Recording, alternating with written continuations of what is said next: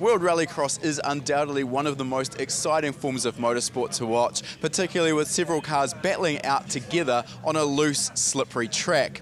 It's not that often, however, that we get to get up close and personal with a championship winning car and find out a little bit about what makes this car so fast. Behind me, we've got Petter Solberg's 2017 Volkswagen Polo World Rallycross car. This car won the 2017 and 2018 championships. Perhaps not surprisingly, with Volkswagen's involvement in WRC, this car is actually based very closely on a 2014 WRC chassis. Of course, with World Rallycross, there's no requirement for a co-driver, and so a few adjustments have been made to the chassis, essentially to simplify it as well as to lighten it for WRX use. One of the key aspects that separates World Rallycross from WRC is the amount of power that the engines produce. In WRC, the power is heavily restricted due to the inlet restrictor placed on the inlet to the turbocharger. In current years, that has been around around 34 millimeters, limiting to the power to around about 300 to 350 horsepower. In World Rallycross form, however, a much larger 45 millimeter restrictor is fitted, and this theoretically allows the engines to produce around about 600 brake horsepower and rev to around about 8500 RPM. However, the peak power really isn't the most interesting aspect of these engines. Due to the restrictor's design, this tends to sap the maximum power the engine can produce. But the restrictor does breathe quite well at lower RPM. So what we see is these engines producing huge amounts of torque in the 4 to 5,000 RPM vicinity. In particular, they'll run in the vicinity of 3 bar or about 45 psi of boost pressure in that region before the boost pressure tapers off at higher RPM. Now, in order to support that sort of power, the engine's obviously a critical aspect here and ensuring reliability is also important, particularly in the World Rally Rallycross Championship, competitors are limited to two engines per season. Uh, if they use more engines than this, then they incur a penalty. So it's really important to make sure that the engines are reliable for as much of the season as possible. In this case, the engine is actually a bespoke engine produced by Volkswagen Motorsport. This is essentially identical to the engine used in the WRC Championship as well. By regulations, it is a 2-litre 4-cylinder engine. And an interesting aspect here, Volkswagen have actually chosen to use a casting for both the cylinder head and the block rather than moving to a billet. Now, one of the reasons for this is the ability to easily manipulate the casting and to ensure that the cooling jacket around the cylinders as well as through the cylinder head is exactly where it needs to be, providing exactly the right amount of material to provide strength and also a nice balance between strength and engine weight. And in terms of weight, this is also mandated in the World Rallycross Championship, the engine must weigh a minimum of 92 kilograms. Now, when starting from a clean sheet of paper with a bespoke engine design like this, it's not particularly difficult for the engineers to produce an engine that's going to be reliable for 600 odd horsepower. In the World Rallycross Championship, the cars are only doing around about 250 to 300 kilometers of competition use, so understandably, there's a pretty good chance that the engines can reliably see out a complete season. To remain relevant to modern technology, the engine is direct injected and it's running on a mandated 102 octane fuel for the World Rallycross Championship. One of the keys to producing the sort of power these engines make as well as maintaining a usable power band of course is the turbocharger and in this case the engine is fitted with a Garrett TR30R turbocharger. Now this is a special turbocharger only used by Garrett for motorsport applications it's not something that you or I are likely to be able to buy from your local Garrett distributor.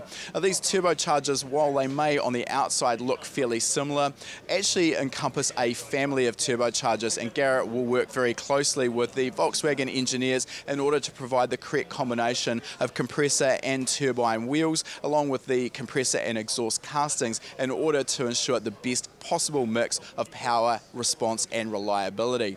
Interestingly here as well, weight is a key consideration and because this is only for a motorsport application, Garrett don't need to pass some of the more stringent burst retention tests that are necessary for a production turbocharger going on a factory OE car or even those that we're more likely to be using in an aftermarket performance application. Understandably therefore these turbochargers are designed with the harsh motorsport environment in mind and one of these aspects that is really hard on the turbocharger is the anti-lag strategy.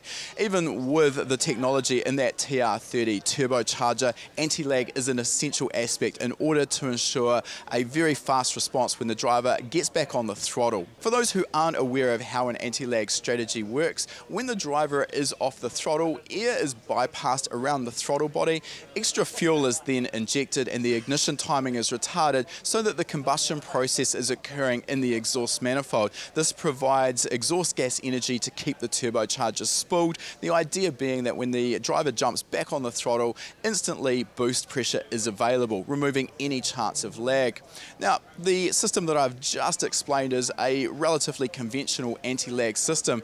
However, in the World Rallycross engine, this is actually modified slightly. There's a valve fitted to the side of the cylinder head that takes an air feed from the compressor outlet for the turbocharger. This actually then bypasses, when the anti-lag system is active, straight into the cylinder head where that air is injected straight into the exhaust manifold. The reason this system is used, rather than the more conventional air bypass around the throttle body, is it allows a very aggressive anti-lag strategy. If we tried that with a more conventional air bypass around the throttle body, what happens is that because air and fuel is still going through the engine, the engine actually still produces power and torque. In order to control that, the ignition timing has to be massively retarded, which creates a huge amount of exhaust gas temperature.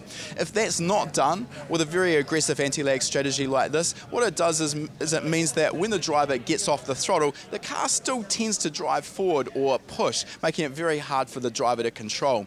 By using the air injection straight into the exhaust manifold, additional fuel can simply be passed through the combustion chamber and the engine isn't physically making any power and torque. This allows good drivability with very aggressive response to the turbocharger.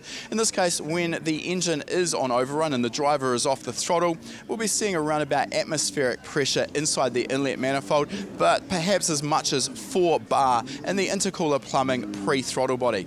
Hopefully you can understand that with 4 bar pre-throttle, as soon as the driver gets back on the throttle, you'll have instant boost and absolutely no lag. In this case, Volkswagen have chosen the Bosch MS 7.4 ECU, which is understandably in control of all of the engine functionality, including controlling the fuel pressure from the high pressure direct injected fuel pump.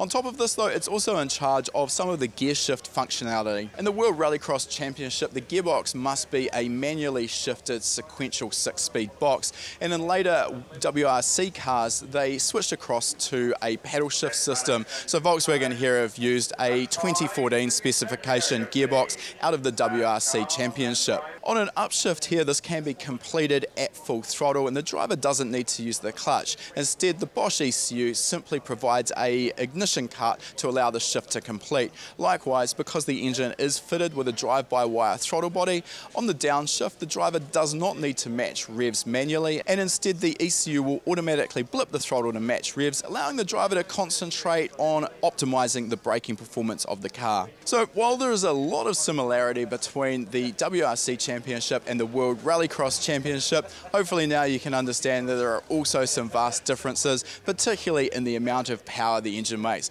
Of course, this makes it all the more spectacular to watch with these cars battling door to door on a loose surface. If you like that video, make sure you give it a thumbs up, and if you're not already a subscriber, make sure you're subscribed. We release a new video every week. And if you like free stuff, we've got a great deal for you. Click the link in the description to claim your free spot to our next live lesson.